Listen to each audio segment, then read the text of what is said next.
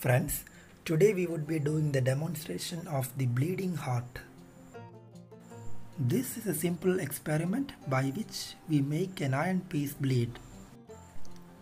When an iron piece is put into the solution which we prepare, it starts to bleed. These are the materials required for this experiment. Potassium thiocyanate, hydrogen peroxide, water and hydrochloric acid. The experiment begins by taking 0.5 grams of potassium thiocyanate in an RB flask. Then I added 10 ml of distilled water and then added 5 ml of concentrated hydrochloric acid. Now add about 5 ml of 3% hydrogen peroxide. Into that solution I immersed a piece of iron. You can immediately see the formation of red color. We are going to do the same experiment in an interesting manner.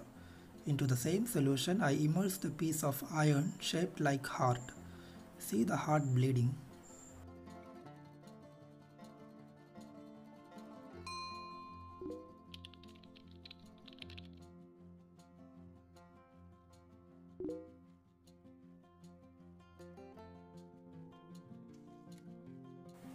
The principle behind this is very simple.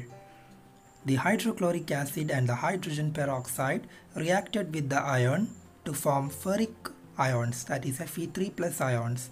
The potassium thiocyanate in water gives the thiocyanate ions.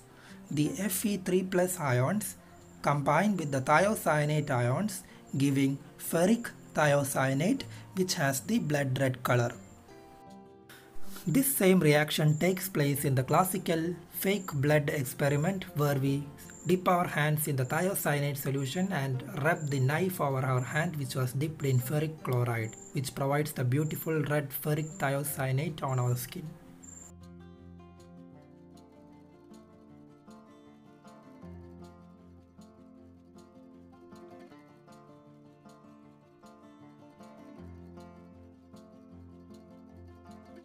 Thank you so much for watching my video. If you loved the content, please subscribe to my channel and click on the bell button.